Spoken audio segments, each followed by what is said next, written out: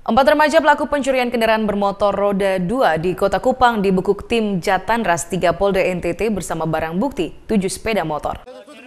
Empat remaja yang masih ABG alias anak baru gede yang sering melakukan aksi pencurian sepeda motor di wilayah Kota Kupang, yakni Rocky Gilbert Plaikol alias Papi 18 tahun, Regen Saputra Arvaldo Kuamesa alias Regen berusia 16 tahun, serta Michael Bel Cesar Nehemia 18 tahun dan Indra Anin berusia 15 tahun dibekuk tim Satuan Jatan Ras 3 Polda NTT di wilayah pimpinan AKBP Joshua Tempu Bolon.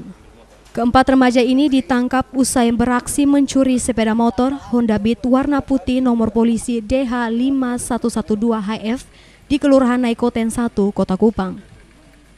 Menurut Wakil Direktur Kriminal Umum Polda NTT AKBP Bambang Hermanto, modus yang digunakan keempat pemuda ini ialah mengincar sepeda motor yang diparkir tanpa dikunci steng. Gilanya lagi, para pemuda ini dalam aksinya tidak menggunakan kunci letter T seperti lazimnya pelaku curanmor lain dalam melakukan aksinya. Melainkan sepeda motor target didorong menuju tempat sepi Lalu tersangka Papi mulai mempreteli motor dan menghidupkan motor dengan cara menyambungkan kabel kontak. Motor yang dicuri selanjutnya dibawa ke tempat kos-kosan untuk menghindari kecurigaan warga. Setelah itu motor akan dipakai balap liar dan selanjutnya motor akan dikirim ke Timor Leste melalui tersangka lain yang masih dalam pengejaran aparat kepolisian. Nanti rekan-rekan kita akan kembangkan ya kita penyidik akan mendalami kejadian ini. Mudah-mudahan kita bisa mengungkap curanmor ini ya. Ini karena si Rocky ini adalah residivis di khususnya di Kupang ini. Ya, saya kira itu ya. Yang ini yang empat tersangka berarti. Tiga adalah pelakunya ya. Yang di bawah umur ada dua, Indra dan Regen Saputra. Ini masih sama-sama kelas 10 di salah satu SMA. Ya. Adapun mungkin pasal yang kita uh, kenakan itu kita pasal 363 dan ancaman hukumannya sudah jelas itu di atas 7 tahun.